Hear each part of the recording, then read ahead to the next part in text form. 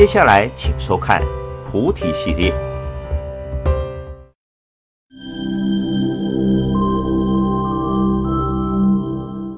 好，来，我们大家一起合掌。南无本师释迦牟尼佛。南无本师释迦牟尼佛。南无本师释迦牟尼佛。南无上甚深微妙法。百千万劫难遭遇。我今见闻得受持。愿解如来真实义。啊，金光明经盖说，各位比丘、各位比丘尼、各位沙弥、各位沙弥、各位居士，大家阿弥陀佛。阿弥陀佛。啊，请放掌。那么我们今天呢，啊，在这个，哎，我们哎，南化无极升天宫啊，这个这个这个是圆通宝殿，好像我们写的是圆通宝殿啊。那呃，就是我们一般讲就是它大殿啊。那这是八角形的啊的大殿啊，那诶来这里，我们问大家诶以这个啊这个供佛在天的因缘呢，那么有这个啊北部的大专同学呢想说，是不是可以为他们啊为大家做一堂为大家讲解《金刚金光明经》的概说啊？那我当时觉得这很好，意义很重大。那么能够开始讲之前呢，我首先我们感谢我们的西方佛母哈，他在这边开山啊，这个所谓的啊乌山头这个这个风景区啊，乌山风景区啊，呃，由是呃整个这个山啊，应该叫做巫山吧哈，可以查一下哦。对，那么呢是啊，他我们西方佛母第一位来自开山，民国六九年。而且他这个寺院啊是有正式的寺庙登记，啊，那么土地的话呢还是国有的，但是寺庙本身是登记为正式的寺庙登记，大家请放着，啊，那其实当然感谢我们啊这个圆净老尼师啊，他在这里开山，啊，那么呃后来呢，呃十年之后，呃民国七六年了，哦六九七六加不到十年，呃七六年呢，他被西方佛母告知说。啊，在南溪的话是哪里啊？啊，是看得到的哦。那里 是哪里？啊，是看得到的，看得到啊。嗯，那那个地方呢？戒指呢？他说那里有一个很好的台湾很重要的一个这个地理。那么呢，在那里建南众道场，二十年后呢，会有南众出家人来。那个时候的老尼斯还是。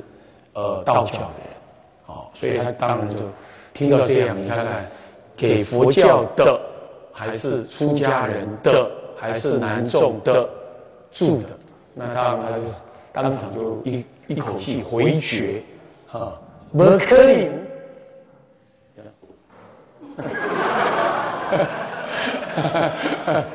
呃，不可能，完全不可能这样子啊，当时是这样讲，哎。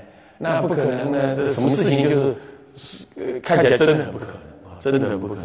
对对，为什么是道教呢？这样这样啊，最后辗转的因缘呢，我就不多说了。然后最后是老尼是因为因为害怕说因缘未了啊，还要来还这个缘呢啊，人情难难还嘛哈，好像是这个意思。他大概意思就是说，你过去有发愿了，你要建三个寺院哦，这样子。那这个是第一间，那将来还有一间，就是现在最重要就是，哦，这个万佛寺啊，你要去建这样。那那个时候名字叫做无极圣德宫，圣天差一个字，天宫德宫这样子。好，那这里海拔五百，那里海拔两百五，有刚好差出一半，啊，是这样。那么他买的时候呢，他买那块地的时候，就是民国七十六年九月。啊，我就是民国七十六年九月出家的，啊，这样。啊，他说二十年后会有出家人来住，啊，我确实是十九年去谈，那么真正住进来就是二十九，呃，就是差不多就是二十年这样子。他们头尾算的话就二十年，啊，所以说这个还是因缘还是很有因缘的哦。呃，那再来就是说，呃，这样子的因缘呢，所以我们也非常感谢说，啊，我在出家前呢已经学佛，那我就发愿说，台湾寺院其实有够了，那能不能不要再建寺院？我去用那个人家，人家建好或者已经建了的寺院，我就发愿这样子。结果这个愿呢，到现在还是在实践当中，啊，都是接的，啊，从千华寺。啊，万佛寺，你看千华万佛，啊，那还有一个十如，你看十千万，然后就差一个百，还在等那个百出现，啊，还有一个亿。的亿，对，那么这样就满额了。啊，就是大满贯，是这样。啊，那呃。千华寺也是那个呃，一位师傅他说啊，你们怎么样怎么样啊，不然就给你们用，最后就教，也是真正教出来。那然后来到了呃，千千呃，先借青龙寺住了，那取了千华寺，还有呃，有一个小金色哈，那再来就是万佛寺，然后再来就是这里，这里是今年三个月，三个月前才差不多敲定，可能还不到三个月。啊，这三个月这样子，哦，所以很特别。那这当中呢，这块土地呢是国有地。那因为老尼师回到了南溪去见万佛寺，他就把这个寺院的事情种种细节交给他徒弟。那徒弟的话，因为是女众，再就是一般的、一般的人啊，他也没太注意。结果呢，呃，这个租约丢了，丢了。啊，这个租约一丢了之后呢？嗯，曾经马总统时代，他认为国有财产地应该是收归国有，他就不要再外外租。你没有租的，我就不租你了。结果他就这样失去了再租的机会啊。后来就变成整个整个无极圣天宫是建在一个没有租约的土地上，不要说是你的，连租都不是这样子。那后来他就再提出提出申请要租，已经不租你了。不但不租你了，他把你那个曾经租过这块土地的那些契约啊，都把你收走。换句话说，你很难再证明说你曾经租过这块地。啊，为了这个事情，老尼是带着上一任，就最后我之前的最后一任，那他的一个义子也可以定，好，那么呢来担任这里的住持，这样也是有些建设小小的整理了啊。那嗯，来了万佛寺问我说该怎么办？我说我这事情真的不好办，因为因为这个土地被收走的话很麻烦这样子。那我也不知道怎么办。那那时候想说也还没有交给我嘛，那真的遇到问题我们再来协助就好。那后来有个什么因缘呢？他的儿子，他的这个客呃 K 弟啊义子啊，就是说啊，我师傅还是还你好了，啊这样啊，就在这个时候呢。呃，一年前，一年多，呃，两年前，两年前，老尼斯曾经为了圣天宫的事打电话给我，他问我说：“如果圣天宫有一天他真的要人家交接的话，那你法藏法师 O 不 OK？” 我说：“不，不太 OK。第一，我没钱；第二，我没人；第三，实在是呃呃，这个贝多一分了哦。你防守太多地，你坐在那个地方的人员都分散了，这样恐怕不 OK。但是。因为他是我们的母庙，哦，因为他是开基的护护护法神的哈，视线的。那如果说你你你真的实在是找不到适合的人的话，那我们义不容辞，啊，我们不敢说多要哦，这样你先找更适当的人。他听了之后呢，也没做声，后来就他的义子来接的，所以他其实也有考虑过这样子，啊，我们也就这样推脱了一次。那么他一直来，后来就说也不觉义子可能是因为义子他不是信佛母的第一种，第二他他的义子是信地母的，得没有？普里吗？普里有地母啊，地母庙。好，听说弘基的那施正荣就是信地母的，是这样子哈。那那好，呢就姻缘也是这样，后来就也不错啦，后来就又再交接一次。那就在这个交接的时候，出现了一个第一次，我感受到说，我们佛母确实也是除了万佛寺很灵感以外，很多的灵感很特别。比如说呢，比如他老林寺有一块地，恭喜你，那个什么，那个油车边啊，油车旁边那里，油车这个地名啊，进入我万佛寺之前有地地名叫油车，油车地名那个是什么地方的？它有一块地，那块地呢五分地，那五分地呢，据看地人讲说，那是个妙地，妙地啊。好，那他买来了之后，本来是真的是想要当做是染雅金色的另外更小的金色，把染雅金色再缩小，染雅金色好几分呢，那它它就缩成三分地的样子，那就小了哈，这样。那结果呢？结果没姻缘住了之后，他就心里有想说，嘴巴讲说要卖，一讲说要卖，高雄就有个神庙，也是神主主动就找人来，要要要带一个什么，就指使一个指使一个机身低心的一个人啊，直接就来找老尼斯。那老尼斯说你是谁啊？他说我是高雄某个庙的庙公。啊，干嘛？哎，你这里不是有一块庙地要卖？哇！他说：“我都还没开始讲呢，你们都知道了，神就马上知道了。好的地哈，那个神马上就知道，他就来买。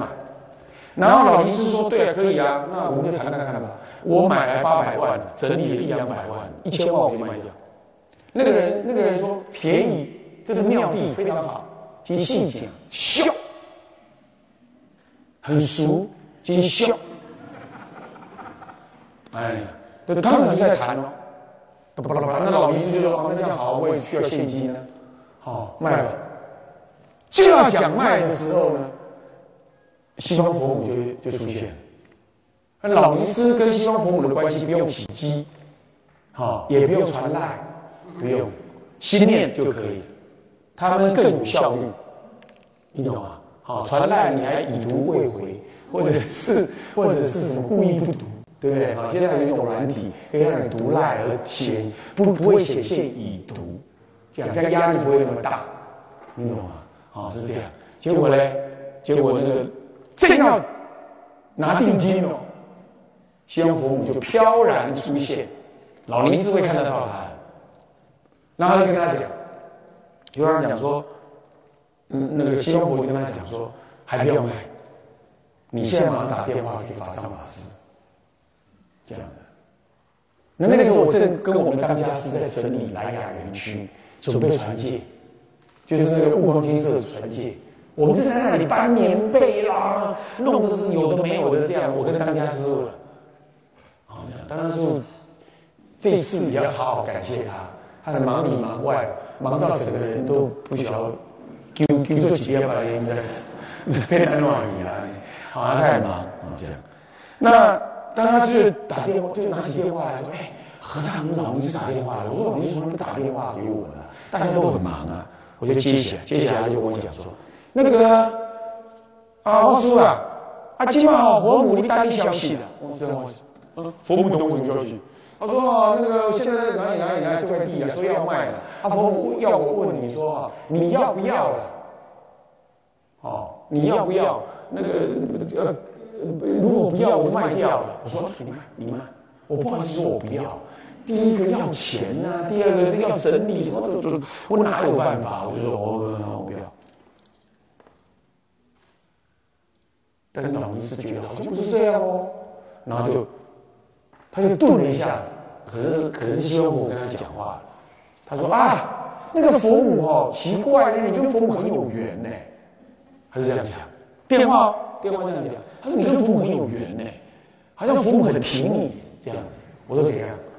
佛母刚刚说了，说还是不要卖啊，还是等你法上法师，所以现在还等待了，懂吗？还等待啊。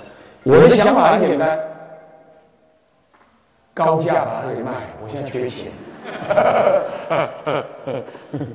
嗯，开玩笑哈。那么就这样子的事情，就是就第一次我感受到说，哎，他好像佛母好像对我有些什么期待这样子。那么这个寺院呢，后来不是交给他义子吗？那义子就交交交，后来就说，老林突然有一天打电话来跟我讲说，他义子决定把这个庙还给他。讲那法师法师，你看怎么样？那我说，你你你要不要再找人？他说不要了，就是你了，这样子。然后说哦，这样哦。那好吧，那你如果这样坚持这样的话，那佛母有什么想法？他说希望这边女众道场。我说如果整个以平衡来说的话，那你来用这边女众合理。但是如果以整个台湾来看的话，男众没几个道场，对不对？女众相对多很多，男众已经变成保育类动物了，是不是？要加强保护，是这样。所以多一个男众道场其实也 OK。所以我就跟老尼师讲说，哎，可以啦，我基本上先尊重说这里是男女众道场，但是没有女众发心来的话，那两个选择，第一个我交还给你，你再交给看谁哪个女众能来，好，这是第一种。第二种的话就是让我变成男众，我再怎么去找男众，男众找男众好说话嘛，是这样，我的想法是这样。他也没答应我，也没说好，也没说不好，就这样卡着，这样。那后来好要交接了，先交接再说嘛，就是这样。那交了怎么办？我有姻缘，我带了几个人来，包括那位、那位、那位那个世华的那个、那个好像也来啊。这是好像在之前呢，之啊不不，那是之后的事。不，之前我来，我我在我在市里，万佛寺市里，我已经答应了之后呢，我就头痛了。最头痛的大概有两件事，其实有三个事。第一个事就是土地。根本连租都没租。第二，什么人来？女众怎么能来？什么人能来？第三，我根本不知道哈。第三呢，这个是什么？这个是钱的经营怎么办？啊，这是这三大项。但我觉得发现最严重的就是土地，因为土地要是出问题的话，会上报，会上报啊，对不对？我们霸占公有土地啊，那是讲出去很难听。你知道现在的新闻是非常非常恶劣，那语无惊人死不休的，那很麻烦，对不对？他讲完了，他污蔑你，他也没有责任了，他也没有责任了。那个，更何况我们刚来啊，这样问题很麻烦。我觉得万佛寺，然后有一栋殿的那里，就对，就对着观音菩萨，然后就对着对观音菩萨讲，是对西方佛母讲，心里念而已啊。我说：“哎，父母啊，你如果真的要我来的话，你这土地问题先解决啊！好，这是已经租都租不到了，这是怎么办？你说租还租得到，买还买得到，这没问题，我慢慢弄嘛。现在连租都没有，你又变成立刻就违法，这很麻烦。啊，我就这样想完了之后，我说你想办法，我也没办法了。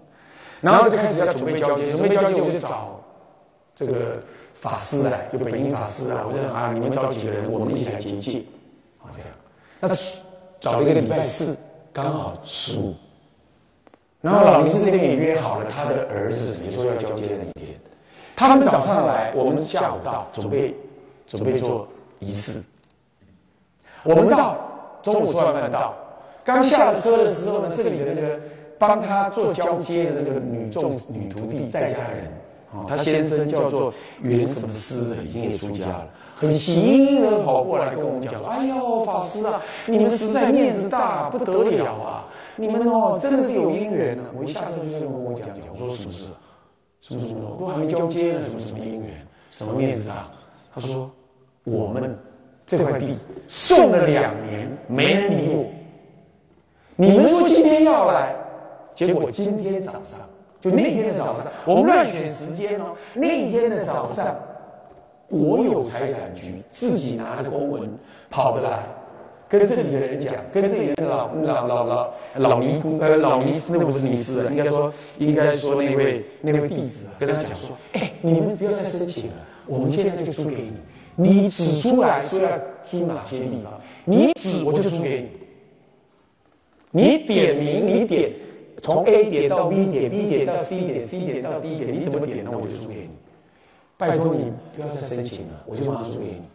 同一天，我们下午来结界，他上午自动来。后来我问说是情况是怎样，他们自己才熟了，他们自己才说，他说你不知道，就前一天他们的南部主管哦，晚上要下班前，莫名其妙从抽屉里抽出一份公文一叠，抽出其中一份来，莫名其妙抽出一份，那份就是两年前申请。圣天公申请租地的那份公文，他拿起来就这样看，一看，哎呀，这个叫两年前申请的嘞，啊，这个老庙头不不不不不不不租给他嘞，他就当场把他的主管找来，就跟他讲说，哎呀，这个人家两年了啦，这个怎么不去租？明天就去租租去租去租，去找他租去找他租租，就就啊，明天就是我要来交接那天，你真的是太神了，太神了，鼓掌一下。太神准了，太神准，太神准啊！这就是引引起了我说要做斋天的因缘。为什么呢？因为西方佛母是他的名字，对不对啊？正式的名字，但是他们昵称就叫天姑、天公，他们彼此间昵称就叫天姑，用天字来讲，你知道意思吧？天，那我们知道天地鬼神哈，其实天神相当多，说是护法或者是菩萨示现。我们一直不知道西方佛母，书也找不到这种背景，找不到。刚刚耶稣才在问我说：“哎，西方不学师才在问我说，那是佛母是哪个佛母？那个有什么无极什么什么老母啦，什么骊山老母啦，哈，那什么佛母啦？哈，其实还有个准提佛母，有没有？啊，我们这里还剃度了一个人，那个人的师傅就叫准提佛母。然后准提佛母他还跟我说，准提佛母跟西方佛母是结拜姐妹。然后住台北。然后看透主题佛母跟他讲说，要去找法善法师，法善法师就有办法把你弄到西方佛母的庙，就这里，让你出家，还讲这样，啊，这个人我都不认识，啊，就这样出现到万佛寺，六点啊，姓张的一个居士，然后呢，跟他跟我怎么讲？他说，准提佛我跟他讲，他是过去梁武帝。时代的一位一位王妃，所以讲话很傲慢，啊，就真的讲话很那个很直啊，这样。然后那个准提佛我为了要证明说他对我很熟，跟我很熟，他居然跟那个姓张的居士呢讲了我过去在佛教还没传进中国的时候的周朝，我就在北方的什么山西还是河南做什么呢？昆仑山的炼气师，好好笑，真的是这样。还把我的俗名讲出来，我姓什么？我姓周。啊，说什么谁谁谁是我学生，是我徒弟，这样还搞这样，完全跟他的公办干，是不是？完全傻眼。那讲到啊，不要再讲这个了，佛教不讲这个。他说没有哦。我我也是不敢讲哦！哦，可是那个谁是带他来的比丘尼师傅，有好几个比丘尼师傅，那其中一个就跟他讲，没关系，你讲啊，那也不是你编的嘛，那是你的准提佛母告诉你。那准提佛母当场那天晚上六点钟，居然突然间哦，那个张居士跟我讲说：“师傅，师傅，帮忙，帮忙！”哦，怎样？准提佛母刚刚来跟我讲，刚刚来，我谁谁干到谁？刚刚来。他说：“刚刚来，那跟我讲讲什么？讲说现在请你赶快打电话约老尼斯。”我说：“不可能，老尼斯这个人哦，非常的孤僻，从来不跟那个不认识的人见面，何况是你，何况你们这一群人。”他说：“没有哎，准提佛母说 OK 哎，哇，准提佛母不是西方佛母，弄清楚，两个佛母不要搞混了。”那好，我就说好啊，那好，那那既然准提佛母说的 OK 或不 OK，这通电话就知道，我就这么打了，当场打，不打。哎，那个，哎，老尼斯接，我说哎，那个什么什么人说什么他的准提佛母啊，啊说什么什么的，你知道怎么说？老尼斯怎么说？我知道了，好了，可以来了。哇，他知道，你看看，就这样，原来佛母跟佛母已经巧合啊。巧好了，所以他知道，所以他见面了，跟那个跟那个姓张的还群师母就在见面，真的就见面，我没骗你，完全意外。然后见面他们两个聊开了，为什么？都是那个能办事的人，你懂吗？能办能够跟能够跟那个神奇办事的这样，一个是准尼佛母啊，一个是西方佛母啊，这样他们就聊起来了，聊得很开。然后最后我就跟老尼斯讲，哎，不然这样你替补他。老尼说没人，我来替，不替他说不替人，就这样。后来我是安排另外有比丘尼帮他替一下，是这样子，因缘是这样。所以这些情况让你不得不相信说，他们天鬼神界、天仙界、天仙界的路的规则，但他们有个统一的规则，非常尊重三宝，非常护持三宝。这就让我回回忆起来，我在清凉寺出家的时候呢，出家两年还三年，来了一个人，那个人名字我还记得，我在讲经的时候说过，也是姓张，叫做张颖这个人，你 google 一下就知道，张颖这个人非常特别，他住桃园观音那一带，还是那个什么桃园平镇那的忘记了，他是桃园那边人，他是鬼医生，专门给鬼医病，他可以给人医病，他是鬼医生，他的师傅呢？就是你今天讲的那个，他他的师傅就道教的师傅，也一样是什么呢？跟道跟跟跟密教完全一样，完全会再来。他说他师傅已经来了，在哪里？在我们大武山，屏东是大武山吗？在大武山，目前来五岁，他都知道。那我说啊，那这样，他说我是皈依你师公的，就是我祖云老和尚，皈依祖云老和尚。那我说哦，那这样。他完全不理我师傅哦，他直接要来找我。好，他说没有啊，我师公就是出你这个人，所以我来跟你讲这些话。我说好啊，那你讲吧。他说我告诉你，我就是魔，我就是道教，我能够杀鬼，我能够医鬼，我能够抓鬼。那我呢，比如说被蛇咬，我想告诉你一个小咒语：任何草拿得到的草，拿来嘴巴咬。然后念那个咒，一壶，任何草都可以啊，一壶就好了。刀伤什么伤？蛇咬什么蛇都用了。什么血清？又太慢了，找血清又太慢了。那深山里找什么血清？啊，那些修道人在深山里头，你找什么血清？对不对？准备等死，不用。任何草拔起来，嘴巴念念念念有词。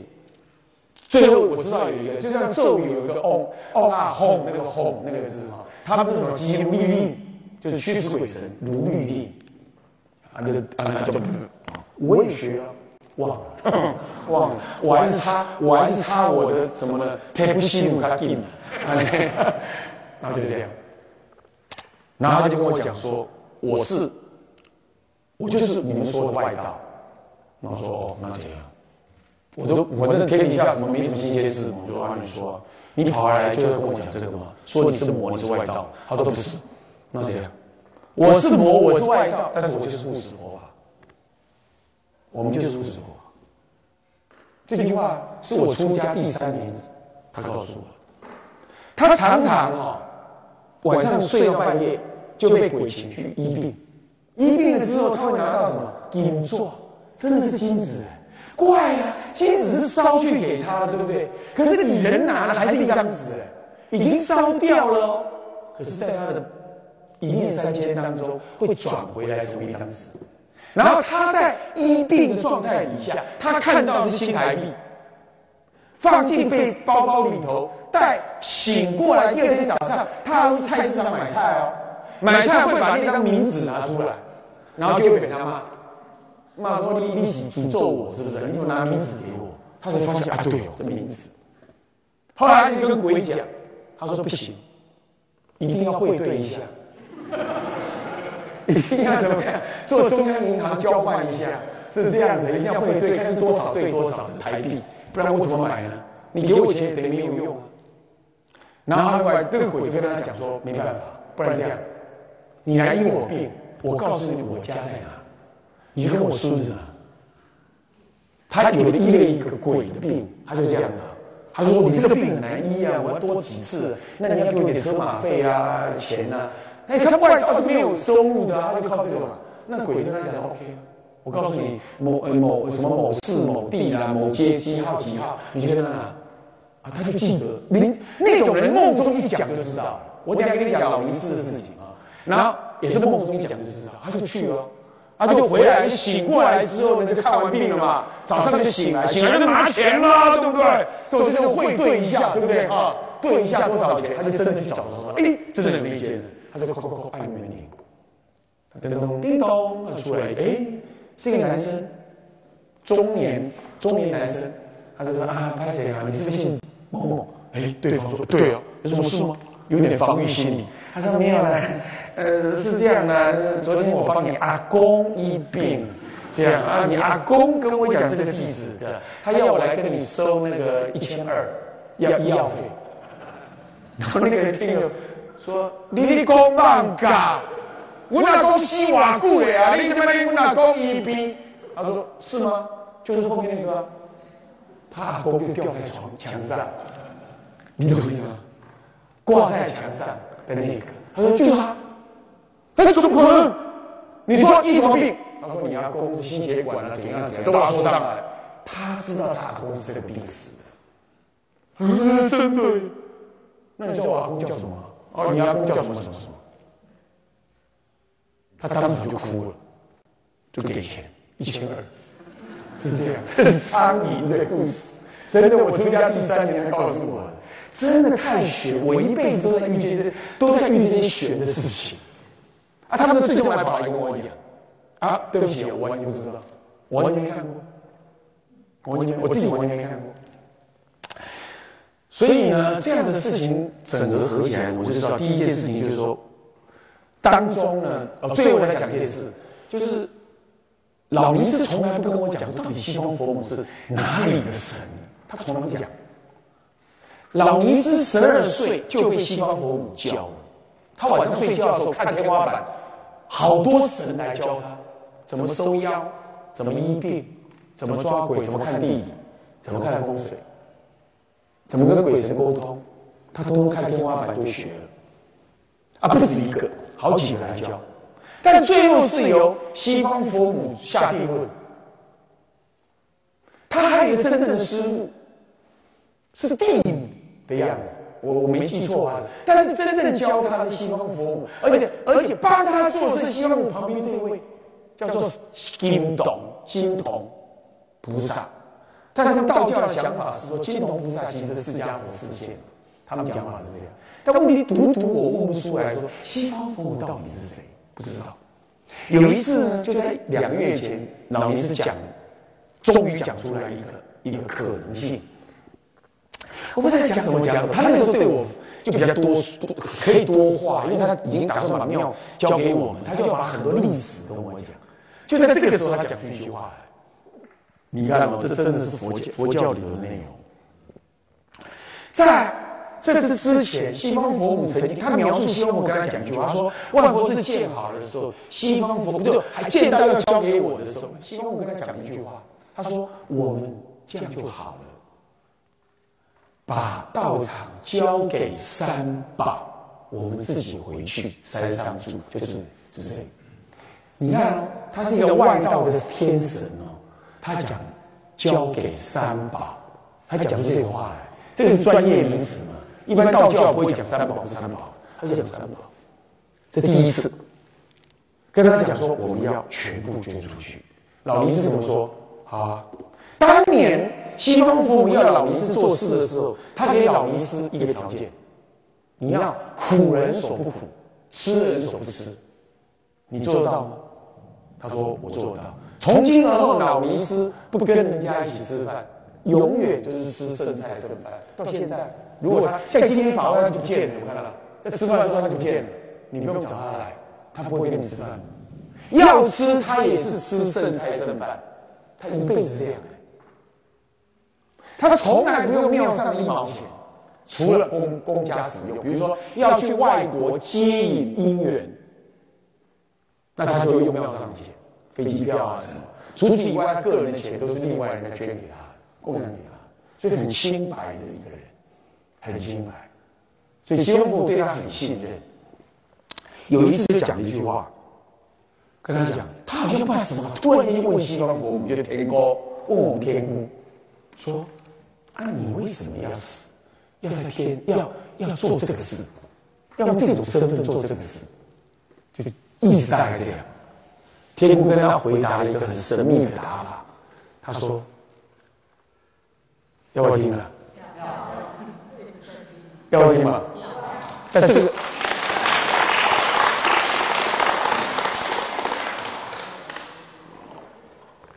但这个很重要，要听要给红包。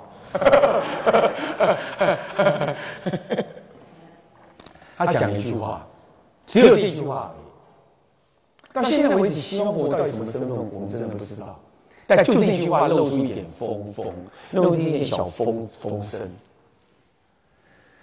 老尼知道什么原因跟他讲说，干嘛念那么累？都我累你也累啊，就是意思要见庙这样的。啊，建一件的交给人家，你干嘛那么累？你干嘛要世现这种这种身份这样子啊？然后我们天姑又讲一句话，这句话是佛法，你知道怎么说吗？他说：如果我不实现这种身份，我渡不到道教的人。这样听懂吗？他在讲渡，他在讲视线，这两个关键词，而且讲渡道教的人。所以说，你看他交给我们，他完全不会为难我们，马上就说就变成佛教，他就这样讲。他还是跟老师这样讲。所以今天大家来是刚好而已啊，这样了解，应他的缘而已，应他的愿而已。这样，他老林是今天真的很高兴，他说他昨天就高兴了。当昨天我们呃秀霞啊，还有那个静涵他们呢，就是啊好几还有天达师傅啊，今天做给我们那天达师傅，那个是呃也是有因缘的哈。那呃来整理，其实好几天以前人家我们当家是整理到翻了啦。那其实整理的还不是很好，我当家师傅比较客气，不敢拉不敢拉人啊，不敢找人啊，这样子还是有点，但是还是不错的，可以用的就是，然后。好多鬼神就跟老尼师讲说，昨天就到了，就等着今天这场法会，很高兴。所以老尼师自己睡觉求的，今天很少看到他这样子，他自己来，哎，然后就不见了，你看到没有？好，一转身又不见了，找他吃饭的这个人不见了，打电话他也不接了，是这样。好，那么他真的是要来告诉我们这件好消息，这样子。所以大家的虔诚这样子。那至于说天达师傅怎么会来帮忙呢？当然是因为素霞跟静涵他们住的近。重点是天达师傅的师公，也就是他的叔公，叔家好像是叔公还是怎样，就是所谓的传教传教长老。那传教长老跟我什么因缘？其实我跟传教长老并不是顶熟，但是就是因为十多年前。十五呃十七年前，我跟他一起做宗教基本法啊，不是宗教法。那他这个老人家是心很直，急起来的话，那个话讲话就会打结，所以跟他吵架老是吵输。那等下我就帮他补一点话，吵倒是不必了啊，那大家帮他补话这样子。然后他有一次我跟他一起，就是南征北讨。十七年前我们就为宗教法南征北讨。那有一次，我跟他住在弥陀弥陀世界，知道弥陀世界，在苗栗深山里有一个游乐区，整个倒了，给一个出家师傅，高雄的出家师傅买下来。本来叫做什么什么什么游乐世界，后来把它改成叫做弥陀世界。那我们就借住那里，湿气严重。我跟他同一个疗同一个疗房，不同房间，同共用一个客厅。正在做宗教宗教法哦，十七年前我们就做了，然后呢，刚好早上起来，我在整理行李，准备再出发，完全是风尘仆仆，像最近像这这这两年这样一样，这一两年更可怕，这一两年呢，因信师傅换一台二手车，就那台那台什么什么什么什么叫做什么阿法的车子，可以躺着休息的，我往往是这样哦。睡在车里醒来的时候，我要问一下技术：现在是白天还是晚上？现在是台湾头还是台湾尾？我完全不清楚我人在哪里，是几点？我会这样子过日子，所以真的很辛苦。那个时候还没有那么辛苦，但也颇辛苦的。没什么人，都是比丘尼开车，开车我们在搭搭便车。那他看我在整理行李，你他跑过来跟我怎么讲？哇，法上老师你好厉害！这样，你会自己整理行李？哇！我一听这什么鬼啊？然后他他的师他的徒弟来，就是现在的元成师傅，掌理他所有一切的元成师傅。他原籍是元成师傅，元成师傅跑出来说：“对啊，阿尔师的那个行李都是我整理的。”这样，他就然后我就这样来对他这样开始聊起来。后来他圆寂了，他真的圆寂的太早。有两个人的原籍让我真的很心里很难过，都是我的。算是学长师长了，师长也接近了。可在学长师长之间，一位就是慧本法师，哦，不是鲁本哦，那个两个本不一样，鲁本还好好的。那个慧本长老认识吗？啊，慧本长老，慧，这是实在是人才，哎，实在是人才。我我出家前，我在家的时候，我就听他讲经。还有个慧观法师，大家都知道的哈。慧观法师现在还跟我有联络。这两位都是你那我们看到的，现在应该是最中壮、最强大的。但是一个原籍，一个有事情，就没有出来。另外一个就是传教长老。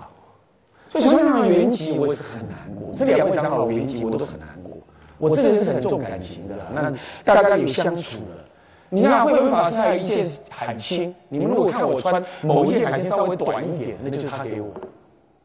啊，所以呢，呃呃，这个这个传教长老呢，他原籍我心里很难过，因此我我毛起来了。慧文法师跟传教法师呢，我每一年中原普渡通写他的牌位。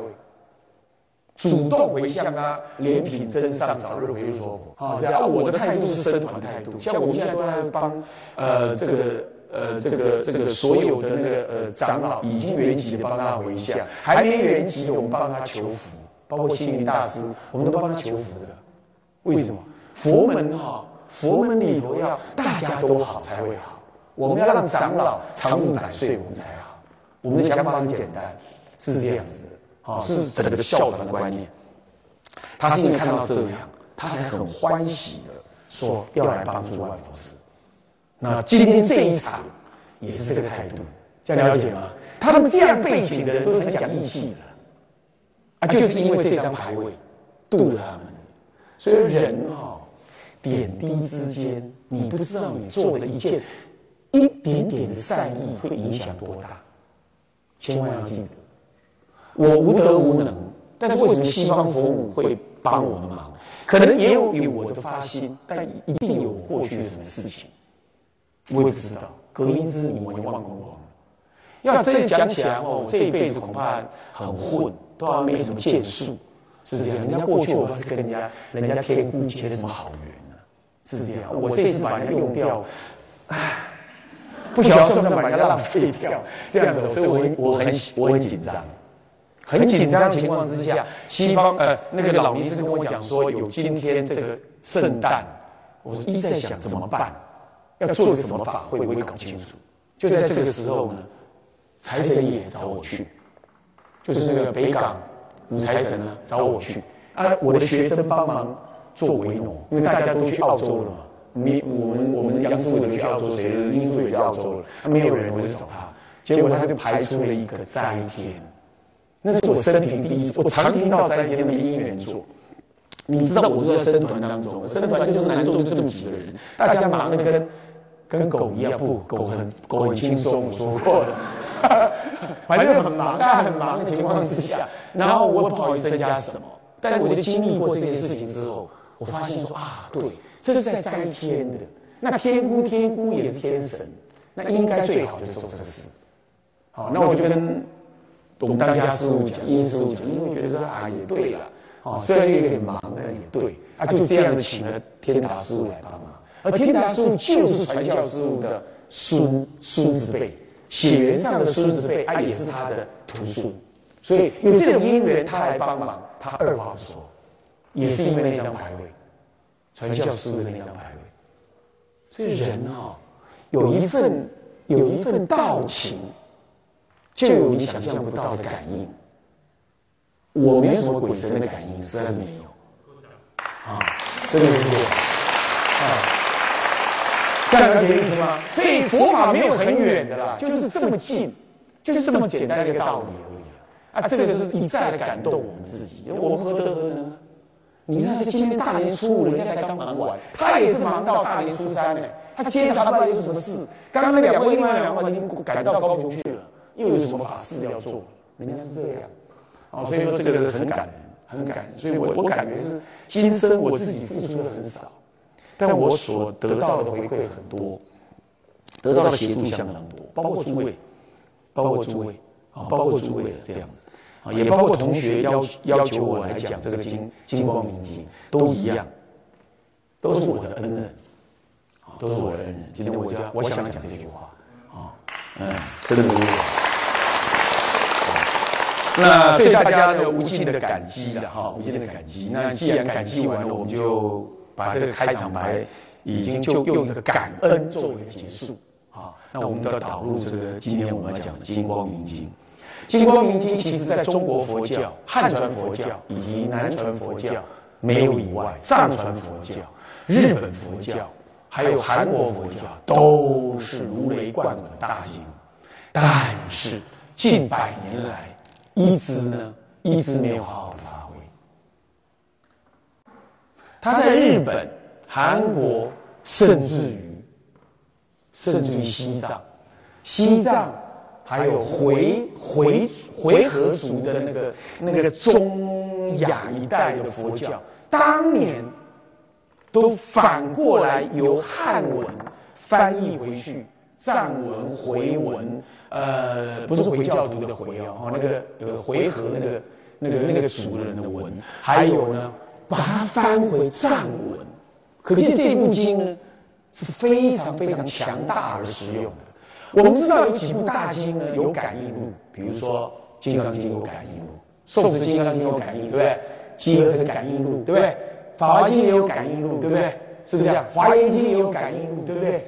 我告诉你，《金光明经》也有感应录，可见怎么样？可见这部经的感应。非同小可，但知道的人很少。特别是在近近五十年来的台湾佛教，当然佛教也一样，近五十年来更别提了，他们更加的稀少于理解这部经。第一个，这部经，这部经非常的重要。那么这部经所提的好几个道理，消灾、忏悔、祈福、放生的概念。长期以来，好在天这种观念以来，好长期以来一直深深的影响中国佛教，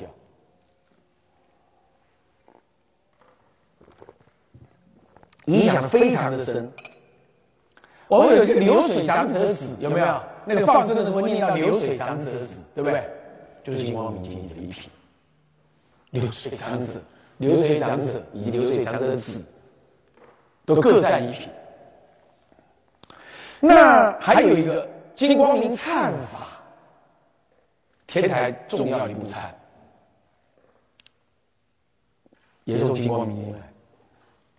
所以金光明经呢，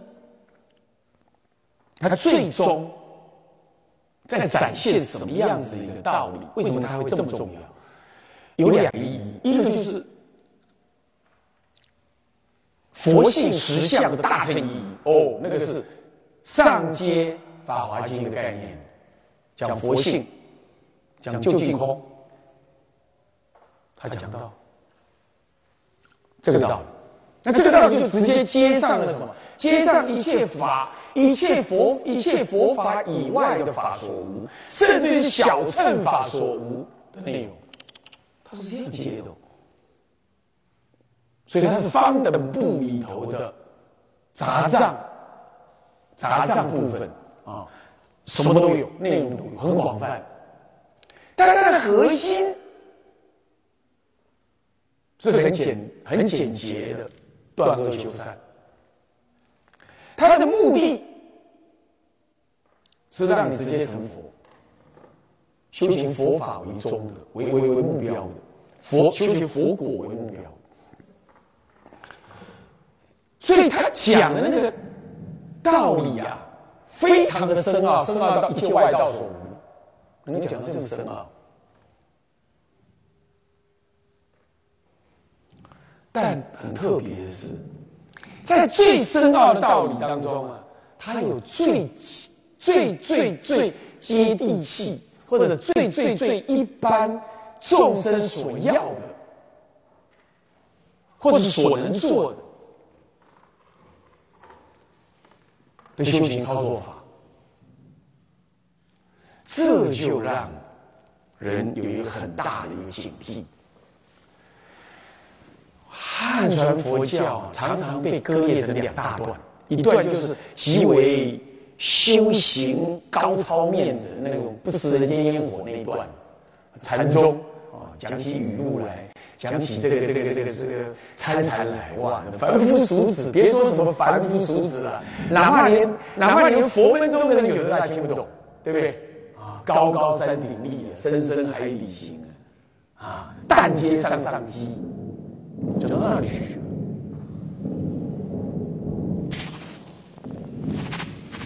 啊，那样没关系的，就因缘如此啊，是这样。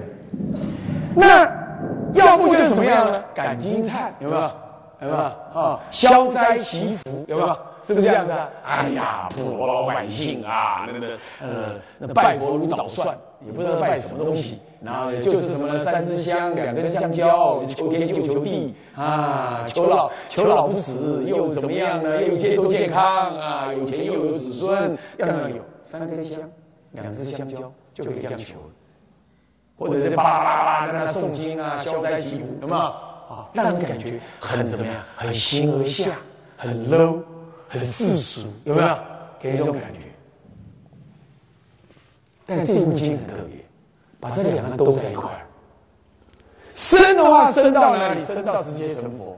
信信的话，干嘛？让你怎么样？让你求财、求名、求消灾、求求忏悔，乃至于求长寿。在同一部经里，结合的毫无违和。这就有点让人感觉，其实这种风格在哪里也存在，你知道吗？其实，在《法华经》也存在。《法华经》在讲很甚深的道理的时候，那也是高高山顶立。但开始讲到普门品，有没有？啊，若人多淫欲，若人多愚痴，啊，常念恭敬观世音菩萨，求男得男，求女得女，咚咚又跑回来，有没有？是不是这样子啊？其实一样。这样就意思出一件事情来：从这一类的大圣经典，特别是天台中的《金光明经》，是它的五大部、五小部当中很重要的一个注解书，就显现为天台五小部，在展现什么？展现极高极高的佛性空义呢？它有极低极低极普罗的感应跟消灾的功能。他不舍这个意义，这就把一个很深奥的佛法道理呢，跟人间所有的疾苦跟你的欲望，居然结合起来。这就像《药药师经》一样，《药师经》其实是密教部的的内容，他求的是什么？求的是人间的这个医的药师。十二大愿，求人间的这个生活资具啊，等等都不无缺，意思是一样。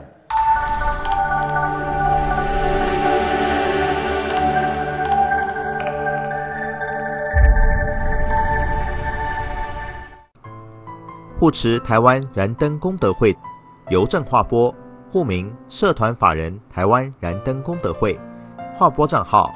五零三二三八五八，五零三二三八五八，银行账号，银行代号土地银行零零五，账号零一二零零一二零二六零八零一二零零一二零二六零八。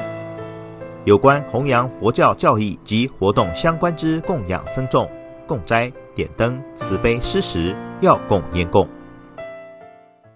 佛教慈悲置业台南分会开设植栽课程，日期七月八日星期六，时间下午两点开始。联络电话零六二七一六六一六或零六二七一六六一二，零六二七一六六一六或零六二七一六六一二。地点：台南市永康区永大路二段三百四十五号。敬邀菩萨参与熏习同沾法义，共沐佛恩。欢迎提早来电报名。